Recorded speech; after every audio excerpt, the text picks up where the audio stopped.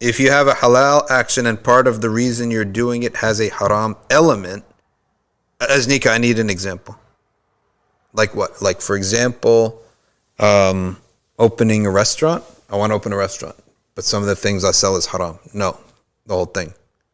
You can't do that.